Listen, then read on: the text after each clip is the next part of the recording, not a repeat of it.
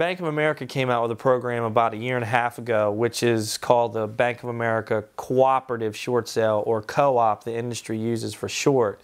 Uh, this is a great program. Um, it's it's one of the best, um, you know, most innovative short sale programs that I've seen by any bank. Uh, bank of America Cooperative Program basically. Uh, once they intake your information, so they've got to get a couple of basic information from you, get a third party signed, um, have your real estate agent go initiate the process on Equator. And if they identify that you qualify for a co-op short sale, it's limited paperwork, so you don't have to give an you know exuberant amount of paperwork of oh we need the encyclopedia of your life, you know we need you know pay stubs back to 1986.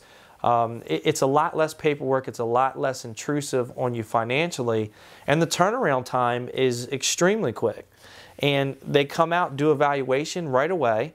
Uh, they disclose that valuation to your real estate agent, which um, you know anybody that's in the real estate world can tell you that's one of our biggest fights in the short sale is you know finding out what the valuation is on the property. You know our valuation a lot of times is a lot different than what the bank thinks it's worth. So in this situation, they tell you what it's worth, and they tell you if you give us an offer that nets us say 250, we're going to take it.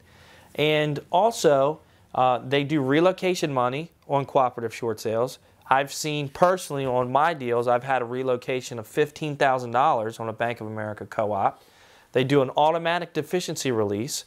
So the difference between what you owe on the mortgage versus what it sells at short sale, they automatically release you.